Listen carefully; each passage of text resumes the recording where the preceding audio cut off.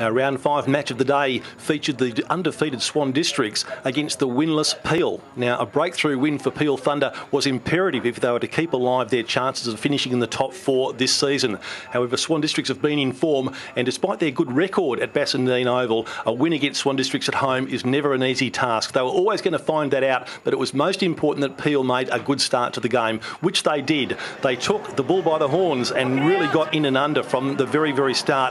A check side kick from Kristen Thornton up to the goal square, and Matt Orzell, ever the opportunist, hit the contest very, very hard. His socket attempt was true, and they made first blood on the scoreboard. It was a very, very tough and uncompromising affair. A lot of big packs, but the spectacle was made so much better by some terrific goals, some great solo performances, and that effort by Pat Travis really saw Peel Thunder get a lead that was most encouraging indeed. They led by eight points at quarter time. They stretched that out to just a bit more than double by 17 points at half time. But Swan District at home and in form were always going to be tough and we're going to keep on coming. And it just made the match so inviting and enjoyable because Swans were never going to lie down. The brilliance there of Michael Walters snapping a left foot goal always kept them to within touch, and it seemed inevitable from a long way from home that this game was going to go down to the wire. Another terrific snap by Matt Riggio, and Swan Districts got themselves not back into the contest, but they actually got themselves back in front by one straight goal at three quarter time.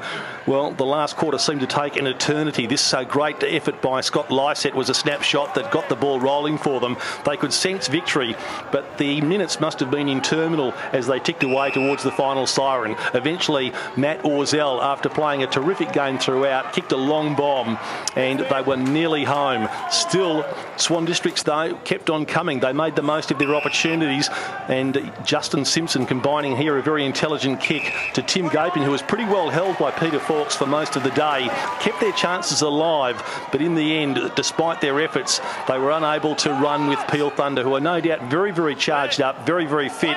We see Ryan Davis here running into an open goal and converting. And their supporters may have thought that there was going to be a, a last gasp chance of them getting back into this match. But then it was Kristen Thornton, one of the stars for Peel Thunder, taking a couple of bounces inside 50, kicking truly from 40 metres. And Peel Thunder were home to win their first game of the season. The margin in the end was 14 points. That's how the match unfolded by eight points at quarter time. The Thunder led by 17 points at the half. Swan Districts, after a terrific third quarter, led by a goal with one quarter to go, but Peel Thunder sensed victory. They would not be denied and ran out winners 13 goals, 12 90 to Swan Districts 10 16 76. The margin 14 points in favour of Peel Thunder. Going next week to Brownes Stadium for our match of the day, our round six match between the Perth Demons and the Subiaco Lions. The Lions undefeated, but the Demons needing to win, and they'll want to win at home against Subiaco. We'll be on air from Brownes Stadium from 2 p.m.